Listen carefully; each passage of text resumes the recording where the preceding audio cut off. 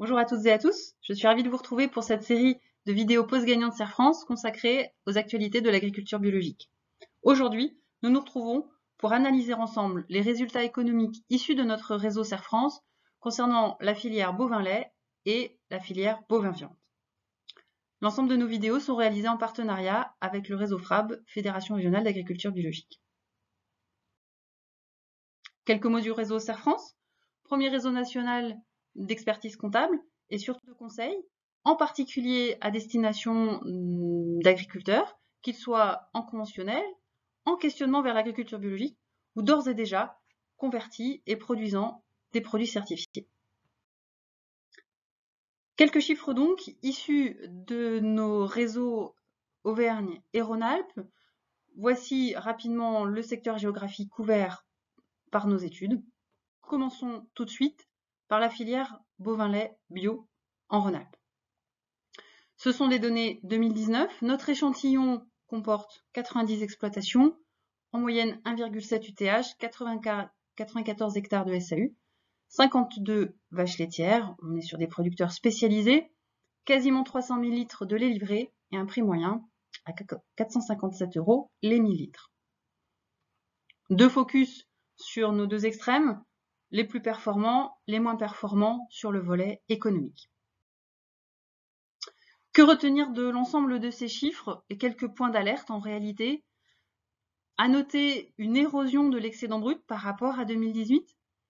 Ça ne se joue pas à grand chose, c'est moins de 2000 euros d'érosion, mais c'est quand même une érosion et c'est suffisamment euh, euh, marquant pour être pointé du doigt. L'érosion aussi de l'efficacité économique, 34% cette année de BE sur produit, même si je reste toujours très vigilante à la notion de comparaison avec le conventionnel, sur ce critère-là, en 2019, on est autour de 32% en conventionnel. Donc on a un écart euh, assez érodé, assez limité, et c'est vraiment, vraiment un point d'alerte euh, à, suivre de près. À noter aussi un endettement conséquent, c'était déjà vrai, ça s'accentue. On a des annuités maintenant qui s'approchent des 50% de l'EBE. gardons, gardons raison sur nos modes de, financement euh, des investissements. Et autre point d'alerte et autre point de vigilance forte, c'est finalement une marge d'orientation assez limitée. En moyenne, on a une marge d'orientation de 3500 euros. C'est pas forcément beaucoup. Et puis surtout, des points d'alerte importants parce qu'on se rend compte que dans le quart inférieur de ce groupe, ah bien en réalité la marge d'orientation elle est fortement négative, c'est-à-dire que on, creuse même la trésorerie si on rémunérait si on rémunérait au SMIC nos, travailleurs, on, générerait en réalité un manque de presque le SMIC justement annuellement. Donc vraiment vigilance, vigilance aux performances économiques. Quelques rappels effectivement euh, pour euh, vous remémorer les modalités des différents, euh, des différents ratios économiques. Alors nous avons cherché ici à mesurer la fragilité de notre échantillon dans la perspective d'un arrêt des aides au maintien. Je vous invite à visionner notre vidéo euh, qui évoque et qui explique euh, cette situation. Donc dans notre échantillon que l'on vient de, découvrir, deux hypothèses. Une hypothèse où jusqu'à présent les exploitations percevaient, bénéficiaient des aides à la conversion, et l'hypothèse dans laquelle les exploitations de l'échantillon percevaient les aides au maintien. Évidemment, tout ça, ce sont des hypothèses. Hein. En réalité, dans notre échantillon, il y a les deux. Mais c'était simplement pour pouvoir, euh, on va dire, synthétiser les incidences et mesurer les conséquences dans les deux cas. Si on commence sur l'hypothèse conversion, compte tenu de la SAU de notre échantillon, eh on peut euh, approcher une perte d'aide de l'ordre de 14 000 euros annuels qui ne, seront, qui ne seraient plus perçus, qui ne seront plus perçus à compter de 2020. Les conséquences de cette perte d'aide, c'est une évolution à la baisse, puisque nos produits baissent euh, de certains nombres de charges et surtout des charges de cotisation sociale. Et en contrepartie, on s'est positionné dans l'hypothèse de solliciter le crédit d'impôt à l'agriculture biologique, à hauteur à peu près de 5 900 euros annuels, en faisant l'hypothèse qu'on se trouve majoritairement dans des schémas GAEC, avec donc l'ensemble des UTH qui bénéficient d'une transparence. Dans cette hypothèse, la perte nette en trésorerie est d'environ 4000 euros. Pour mémoire, on a une marge d'orientation moyenne qui est aux environs de 3500. Autrement dit, eh bien, Dans l'hypothèse de la non-perception des aides conversion, on se retrouve à mobiliser l'ensemble de notre marge d'orientation au déséquilibre de trésorerie générée. Autrement dit, vigilance forte euh, sur les conséquences financières euh, à court terme et à moyen terme. Dans l'autre hypothèse, avec une perte d'aide moyenne de l'ordre de 9200 euros, compte tenu là encore de la SEU de notre échantillon, une baisse de charges liée approchée à 3000 euros, et là encore une perception de crédit d'impôt estimée à 5009. Donc là, on a un équilibre à peu près atteint, autrement dit, ce qui est perdu est à peu près compensé par ce qui est économisé ou, nouvellement, perçu par ailleurs. On reste sur un équilibre fragile, euh, un, petit peu moins, euh, un petit peu moins difficile que l'hypothèse conversion. En synthèse, tout de même des gros gros points de vigilance et euh, des points d'alerte qui doivent amener à repenser un certain nombre de choses. On, va y revenir dans le fonctionnement des exploitations, en tout cas de certaines exploitations. Allons voir ce que, ce que cela donne sur la filière bovin-viande. Là encore, donc un échantillon euh, bio en vert sur l'image. On est sur des résultats 2019, une soixantaine d'exploitations, en moyenne 1,6 UTH, 64 vaches allaitantes, pour environ 119 hectares avec euh, une très grosse majorité euh, de surface en herbe. Que retenir des résultats? On va se focaliser notamment hein, sur la colonne euh, des résultats bio. Ce qu'on peut se dire, c'est plutôt une, bonne autonomie économique avec une relativement bonne maîtrise des charges directes par rapport aux produits. En revanche, effectivement, une efficacité économique on va dire, euh, relativement moyenne, moyenne basse, un petit peu plus haute de deux points que ce que l'on constate euh, dans l'échantillon conventionnel. Pour autant, un EBE e un petit peu meilleur.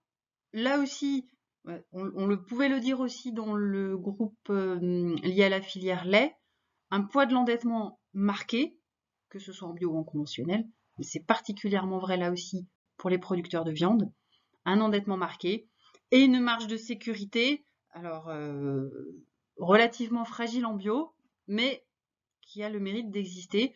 Là encore, ça va être un point d'alerte à suivre et à analyser et peut-être euh, générer un certain nombre de, changements pour la suite.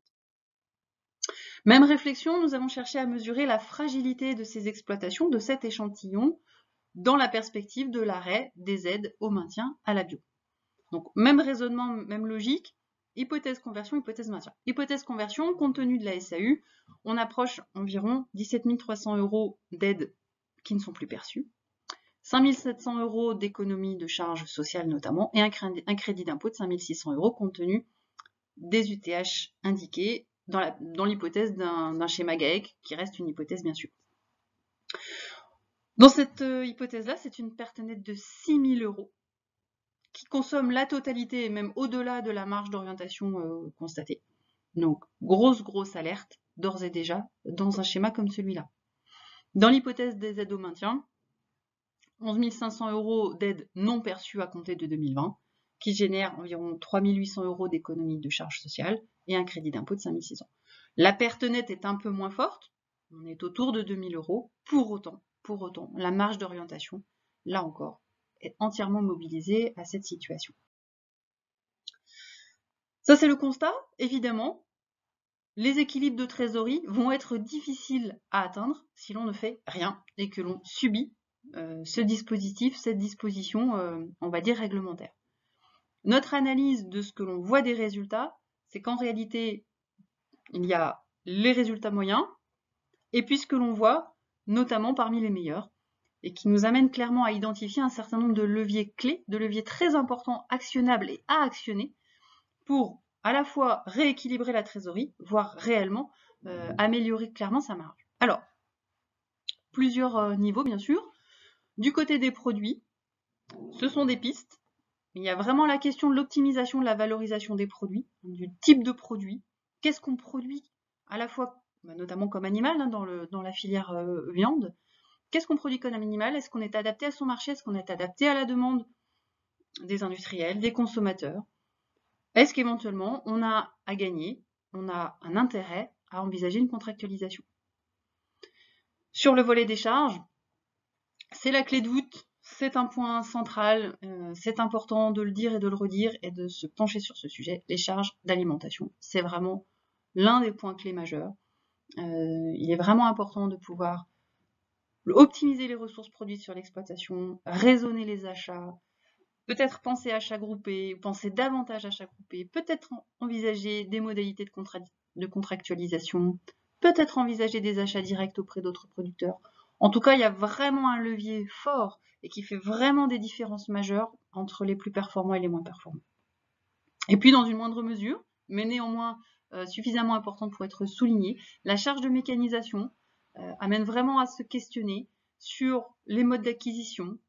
Est-ce qu'on achète à plusieurs? Est-ce qu'on loue euh, Raisonner l'usage, raisonner les besoins par rapport aux, gains réels générés sur l'exploitation? Là aussi, il y a tout un volet à, vraiment revoir et, raisonner.